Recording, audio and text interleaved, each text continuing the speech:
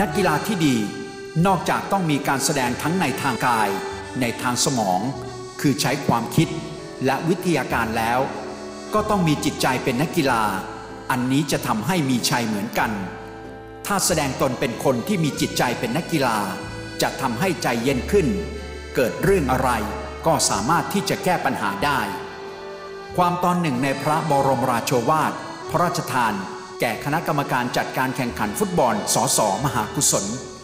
ณพระตำหนักจิรดารโหฐาน วันที่ 26 กันยายน พุทธศักราช 2512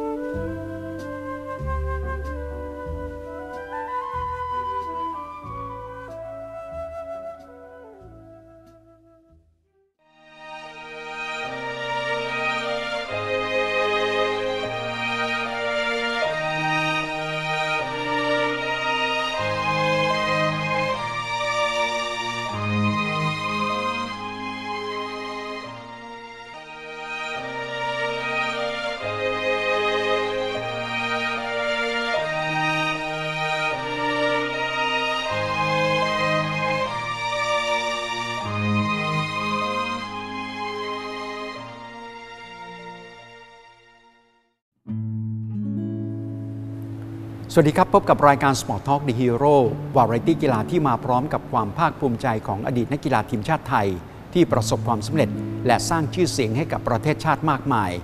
ซึ่งนักกีฬาเหล่านี้ล้วนแล้วแต่สำนึกในพระมหากรุณาธิคุณ ของพระบาทสมเด็จ พระปรมินทรมหาภูมิพล อดุลยเดชในฐานะที่พระองค์ท่านทรงเป็นพระมหากษัตริย์นักกีฬา สิ่งที่ผมมีความรู้สึกว่า เราอยากจะรู้ความรู้สึกของพี่นิวัฒน์ ในฐานะที่พระบาทสมเด็จพระปรมินทรมหาภูมิพลอดุลยเดชพระองค์ทรงเป็นพระมหากษัตริย์นักกีฬา พี่มีความประทับใจมีโอกาสได้เข้าเฝ้าพระองค์ท่านใกล้ชิดที่สุดเมื่อไหร่ครับเอ่อสิ่งที่ผมประทับใจที่สุดนะครับ คือก่อนที่จะไปโอลิมปิกวันที่ 5 กันยายน 2511ครับที่พระราชวังนะครับที่ที่จิตรลดาละโหฐานนะคครัรับบอ่า นักกีฬาเข้าเฝ้าเพื่ออำลาท่านให้บรมราชโอวาทนะครับ ผมประทับใจที่ว่าผมไม่เคยคิดมาในชีวิตว่าผมจะได้เข้าเฝ้าขนาดนั้น ถ้าเราไม่ใช่เป็นนักกีฬาอย่างนี้สงสัยยากนะครับ แล้วอันหนึ่งคืออาผมตัวเล็ก ผมตัวเล็กตัวเตี้ย จะได้อยู่แถวหน้าได้ยืนอยู่แถวหน้าคครัรับบใกล้ท่านมากก็ท่านยืนห่างผมว่าประมาณ 3 เมตรครับแล้วได้ยินเสียงท่านชัดเจน ในฐานะที่ท่านเป็นนักกีฬาด้วย ท่านให้โอวาทว่า มันเป็นกีฬาโอลิมปิกเนี่ยมันเป็นกีฬาระดับโลกใช่ครับนะครับถึงแม้เราเป็นประเทศเล็กๆนะครับ เราทุกคนต้องคิดว่าเรามีธงชาติติดที่หน้าอกครับเราต้องเล่นเพื่อชาติเล่นในเต็มที่แพ้ชนะเป็นเรื่องของกีฬาครับและสิ่งที่สำคัญคือความมีน้ำใจเป็นนักกีฬาครับนะครับ แล้วก็สิ่งที่ประทับใจที่สุดคือท่านบอกว่าแพ้ชนะไม่สำคัญนะครับ เราได้ไปโชว์ธงขอให้ทุกคนคิดว่าเรามีธงชาติติดอยู่ที่หน้าอกครับให้โชว์ให้เต็มที่ เราถือเป็นเกียรติมากประเทศอย่างเราได้ไปโชว์ธงก็โอเคแล้ว เราเป็นนักกีฬาที่อยู่ในรัชสมัยของพระองค์ท่าน เราก็ภาคภูมิใจที่เราเพราะพระองค์ท่านจะรับสั่งที่ผ่านผ่านมาก็ทรงมีพระกระแสรับสั่งว่าให้นักกีฬามีน้ำใจเป็นนักกีฬาครับรู้แพ้รู้ชนะ รู้อภัย อันนี้คือสิ่งสำคัญที่นักกีฬาทุกคนได้ยึดถือเป็นแบบอย่าง นอกเหนือจากนั้นผมทราบว่าพี่นิวัฒน์เองมีความซาบซึ้งในพระมหากรุณาธิคุณของพระบาทสมเด็จพระเจ้าอยู่หัว โดยเฉพาะอย่างยิ่งการได้รับเหรียญรางวัลจากพระหัตถ์ของพระองค์ท่าน บรรยากาศวันนั้นเป็นยังไงครับครับ ตอนนั้นที่สนามสุขพัชราไสยครับ ประมาณปี 2112 ครับ ผมก็ได้รับเหรียญจากฝีจากฝีพระหัตถ์ของท่านเลยจากใกล้ชิดมากเลยใกล้นะชิดฮะบนที่สนามสุขเลยครับ แล้วตอนนั้นยังจำที่จำได้ติดตาและรูปก็มีอยู่ตรงนี้คือครับท่านเป็นแผลที่พระหัตถ์ด้านที่พระหัตถ์ขวาของครับท่านก็ส่งให้ผมไปยังเห็นจังวะพลาสเตอร์อยู่ยังใช่ไหมเห็นฮะติดพลาสเตอร์ครับครับยังจำจำติดใจสมัยก่อนรูปพระราชทานเนี่ยจะเราจะไม่มีเป็นรูปอะครับ เป็นหนังสือพิมพ์ลง ผมก็ต้องตัดสมัยก่อนผมตัดแปะไปโอ้โหไปค้นมาเก่ามากครัต้อบงไปต้องไปอัดพลาสติกเลยครับที่ที่ทุกวันนี้นะครับยังดูอยู่โอ้โหสุดยอดเลยครับปี ก่อนหน้านั้นก็นักกีฬายอดเยี่ยมของประเทศก็จะได้รับอ่าพระราชทานจากพระหัตถ์พระองค์ท่านครับทีนี้มาพอปีที่หนูได้รับนักกีฬายอดเยี่ยม ปีนั้นก็ไม่ได้เข้าเฝ้า หนูครับก็มีความรู้สึกว่าทำไมไม่ได้อะไรอย่างเงี้ยค่ะก็ครับก็รู้สึกว่าเสียใจแต่ว่าก็ไม่ไม่ย่อท้ออะไรเงี้ยครับแล้วก็ปีถัดมาก็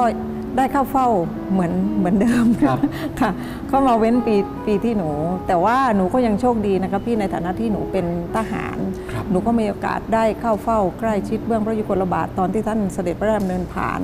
ซึ่งช่วงนั้นเป็นงานอ่าวางพวงมาลาที่อ่าสมเด็จพระเจ้าตากสินมหาราชครับและหนูยืนอยู่แถวหน้าพอดี แล้วก็มีความรู้สึกว่าปลาบปลื้มมาก ๆ วันนั้นคือ น้ำตาคลอเลยอะพี่พูดง่ายๆว่าเป็นครั้งแรกที่เราครับได้ได้ได้เห็นพระองค์ท่านอย่างใกล้ชิด คิดว่าทุกคนคงมีอ่าภาวะจิตใจที่เหมือนเหมือนๆกันก็คือปลาบปลื้มอะไรอย่างเงี้ยค่ะ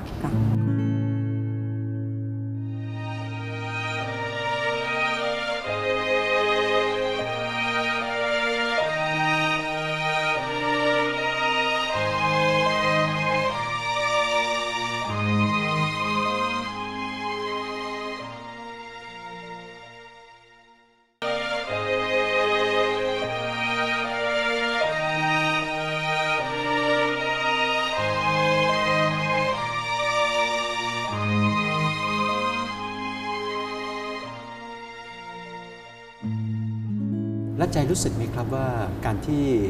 เรามีพระมหากษัตริย์นักกีฬาที่ทรงพระปรีชาขนาดนี้ เราได้มีแรงบันดาลใจ หรือได้พัฒนาตัวเองขึ้นมาจาก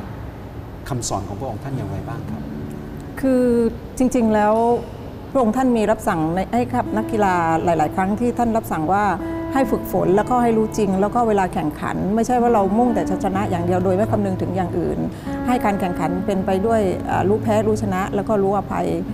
มีน้ำใจเป็นนักกีฬานะคะครับถ้าสมมติว่านักนักกีฬามีตรงนี้ก็สามารถที่จะเอามาอ่าใช้ในชีวิตประจำวันได้ รู้แพ้รู้ชนะ แล้วก็รู้อภัยคำสอนของท่านนะครับ ผมได้ใช้มานานมากแล้วครับ ซึ่งปัจจุบันนี้ผมเกษียณจากหน้าที่การงานมา 10 ปีแล้วครับอ่า ผมก็อาศัย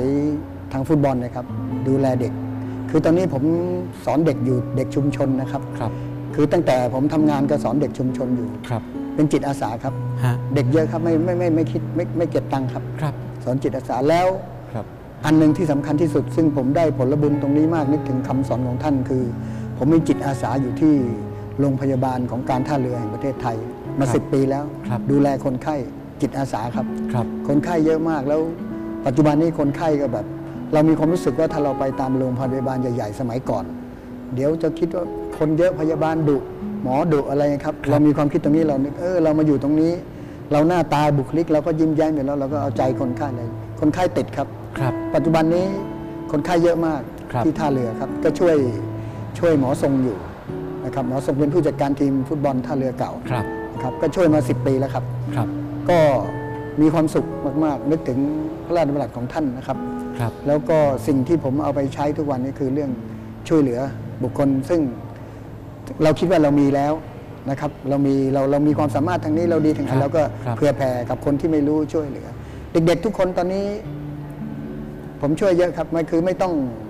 ไม่ไม่ต้องเก็บทั้งผู้ปกครองไม่รู้จักว่าผมเป็นใครครับเอาเด็กครัมาบ เอามาฝาก ผมบอกเอามาเลย พอจะจ่ายตังค์บอกไม่เสียครับเขาเขางงครับ ครับผมเราเราไม่ได้เราไม่ได้คิดถึงไอ้อย่างตรงนั้นเลย แต่ว่าเราทำมานานแล้วเราครับคิดว่า เราเป็นผู้ให้ดีกว่าเป็นผู้รับครับนะครับแล้วเป็นความสุขของเราด้วยเนี่ยครับคือสิ่งที่ผมที่ผมประทับใจในพระองค์ท่านมาจนทุกวันนี้ แล้วยิ่งตอนนี้ที่พระองค์ท่านสวรรคตนะครับครับได้ดูสารคดีเกี่ยวกับพระองค์ท่านโอ้โหผมพระราชสึกรณียกิจขคอรังท่านมากซึ้งมายเหลือมากเกินเลยคเขารับคือบางอย่างที่เราไม่เคยรู้ไม่เคยเห็น เราเห็นตรงนี้เราครับรู้โอ้โหบอกท่าน ท่านเป็นขนาดนี้แล้วเราเราดูสิฮะแล้วแล้วเราเราทุกวันนี้ที่เราทำผมว่ายังไม่ได้เศษเศษหนึ่งส่วนร้อยของท่านเลยผมครัผบมว่านะครับรัฐใจเป็นผู้ฝึกสอนกรีฑาทีมชาติไทยที่ประสบความสำเร็จในการสอนลูกศิษย์ลูกหา นักกีฬามากมายเหลือเกิน ได้มีโอกาสปลูกฝังสิ่งเหล่านี้ให้กับนักกีฬาเราที่ที่ฝึกสอนมาไหมครับ คือจริง ๆ นะพี่หนูส่วนใหญ่หนูจะสอนให้เด็กเอ่อนักกีฬาเนี่ยคือถ้าเรา ถ้าเราเป็นนักกีฬาแล้วเราต้องมีน้ำใจเป็นนักกีฬาด้วย แล้วก็เรามีน้ำใจเป็นนักกีฬาแล้วเราสามารถนำไปใช้ในชีวิตประจำวันของเราได้ด้วยนะคะให้รู้จักแพ้รู้จักชนะ แล้วก็รู้อภัยแล้วก็มีความมานะมีความพยายามในการที่จะฝึกฝน ถ้าเราต้องการที่จะชนะเราชนะด้วยสปิริตครับนะคะด้วยการฝึกฝนของเราด้วยการฝึกซ้อมของเรานะคะก็อ่า ด้วยด้วยแรงกายแล้วก็แรงใจของเราที่ทุ่มเทไปในเรื่องของการฝึกซ้อม แล้วก็ให้เป็นคนดีของสังคมช่วยเหลือคนอื่นอะไรอย่างเงี้ยแม้แต่การดำเนินชีวิตจากการที่เราอ่าเป็นนักกีฬาแล้วออกไปข้างนอกอะไรเงี้ยถ้าเราเจออะไรที่เราช่วยเหลือคนอื่นได้ เราก็ช่วยเหลือเพื่อแบ่งปันน้ำใจซึ่งกันและกันอะไรอย่างเงี้ยค่ะให้การดำเนินชีวิตของเราในสังคมได้อย่างมีความสุข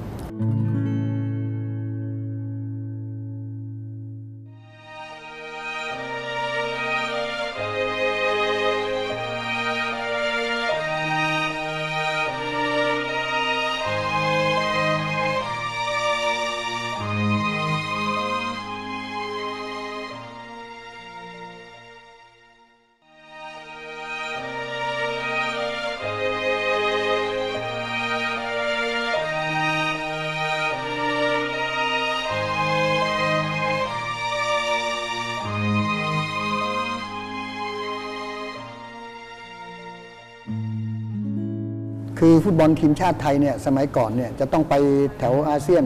อย่างมาเลเซียก็เขาจะมีฉลองเอกราชเขาใช่ครับเมอร์เดกาอ่าญี่ปุ่นก็จะแปนคัพครับนะครับเกาหลีก็เพรสิดเนคัพครับฉลองเอกราชอินโดนีเซีย ฉลองเอกราชเวียดนามฮะแต่ประเทศไทยเราไม่เคยเป็นเมืองขึ้นใครถูกครับเราไม่ต้องมีฉลองเอกราช ก็ทุกคนสมาคมฟุตบอลกับนักเรียนนึกว่าเราทำไมเราจะมีถ้วยในหลวงให้ต่างชาติมาแข่งเราบ้าง เราไปแข่งเขาตลอดทุกปีครับใช่ไหมครับครับ ก็เลยตั้งแต่มีเนี่ยแหละผลจา กการประชุมกันนี้คิงส์ครับครั้งแรกกลับมา 211คิงครับครั้งแรกครับนะครับท่านเสด็จฮะ นะครับแต่ว่าทีมชาติไทยไม่ประสบความสำเร็จไม่เป็นได้ไรไม่คได้รับ เข้าชิงก็ไม่เป็นไร ผมเล่นมา 5 ครั้ง หน้าพระที่นั่งสองครั้งนะครับไม่ประสบผลสำเร็จเลยทั้งสองครั้ง ครับ ก็คิดอยู่ในใจว่าวันใดวันหนึ่ง ถ้าผม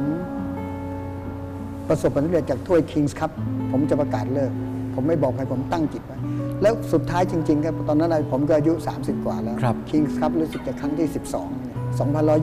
2122 ครับ เล่นกับเกาหลี ชนะฮะโอ้โหเกาหลีแข็งมากทีมนั้นโอ้โหครับแข็งมากครับชนะ 1-0ฮะผมเป็นคนส่งให้น้องชายดาวยศดาราเป็นคนยิงครับพอพอกรรมการเป่านกหวีดหมดเวลาครับนะครับ ผมครับก็ไปเข้าแถวนักกีฬาเข้าแถวเตรียมรับรางวัลนะครับครับแล้วก็พวกเจ้าหน้าที่เขาจะกล่าว กล่าวปิดการแข่งขันกล่าวอะไรอย่างเงี้ยเสร็จแล้วผมขอยืมไมค์ผมเดินไปเลยบอกขอฮะขอโทษนะครับ ครับผมขอพูดอะไรนิดนึงเขางงฮะครับผ่านมามองผมเขานึกว่าผมจะพูดขอบคุณคนดู ครับ ผมพูดบอกว่ากับผมขอขอบคุณพี่น้องชาวไทยที่ให้การสนับสนุน ฟุตบอลทีมชาติไทยและผมมาโดยตลอดครับบัดนี้ผมขอถอดคราบ สิงห์สนามสุขไว้ทั้งดี ขอประกาศเลิกเล่นทีมชาติอย่างเป็นทางการ ตั้งแต่บัดนี้เป็นต้นไป คนดูเงียบทั้งสนามเลยครับ เขาไม่คิดไงฮะว่าผมจะพูดอย่างนี้คือเขาแบบเหมือนคนช็อกดูช็อกเหมืทั้อนงช็สอกนามเลยเหมือนช็อกอะครับแต่ผมก็กั้นน้ำตาไว้ไม่อยู่เพราะผมไม่ไม่เคยทำได้ผมพละลูกพละพระดีนะฮะเราต้องแข็งแรงเราต้องแต่ว่าวันนั้นมันมันไม่ไหวแปลกจริงๆใช่ไหมไม่ไหวจริงๆเพราะครับเราแล้วน้องๆทุกคนมาพี่ทำไมรีบเลิกคนดูคนดูเอ้าทำไมเลิกอะไรอย่างเงี้ยไม่มีใครทราบมาก่อนไม่เลไม่ยไม่ไม่เคยบอกใครครับครับก็เรากะจะได้ตรงนี้พอครับได้ถ้วยในหลวงเราถือว่าสุดยอด แล้วก็ตอนนี้ผมยังมี ถ้วยจำลองพระราชทานเก็บไว้ที่บ้านก็ตอนนี้ยังอยู่ที่บ้าน รัชชัยครับในฐานะที่รัชชัยเป็นนักกีฬาค่ะซึ่งแน่นอนที่สุดการเป็นตัวแทนของทีมชาติไทย ก็เท่ากับว่าเราเป็นนักกีฬาของพระราชา อีกหน้าที่หนึ่งก็คือหน้าที่ของการเป็นทหารค่ะและแน่นอนที่สุดนะครับรัชชัยก็เป็นทหารของพระราชาเช่นเดียวกัน ทราบว่าปัจจุบันนี้มีโอกาสได้ถวายงานให้กับเชื้อพระวงศ์ครับค่ะ ก็มีโอกาสได้ถวายงานพระเจ้าหลานเธอพระองค์เจ้าสิริวัณวรีนารีรัตน์นะคะ ซึ่งพระองค์ท่านก็เสด็จตามรอยเบื้องพระยุคลบาทของ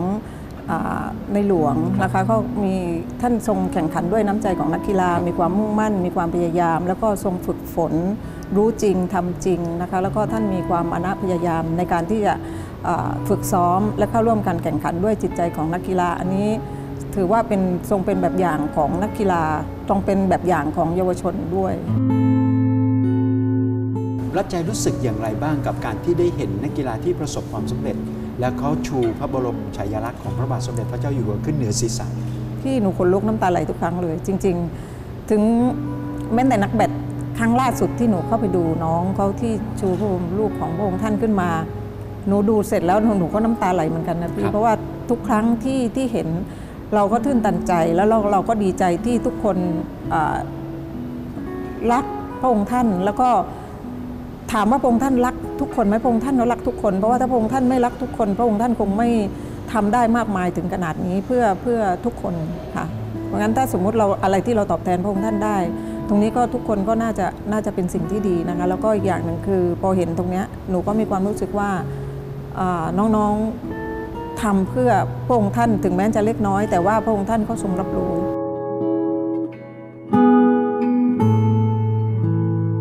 และทั้งหมดนั้นเป็นความประทับใจและความซาบซึ้งในพระมหากรุณาธิคุณของพระบาทสมเด็จ พระปรมินทรมหาภูมิพลอดุลยเดชและแน่นอนที่สุดนะครับ ถึงแม้ว่าท่านจะเสด็จสู่สวรรคาลัยแล้ว แต่พระองค์ท่านจะทรงสถิตอยู่ในดวงใจของเหล่านักกีฬาชาวไทยตลอดไป วันนี้หมดเวลาแล้วนะครับ ลาไปก่อนจนกว่าจะพบกันใหม่สัปดาห์หน้า สวัสดีครับ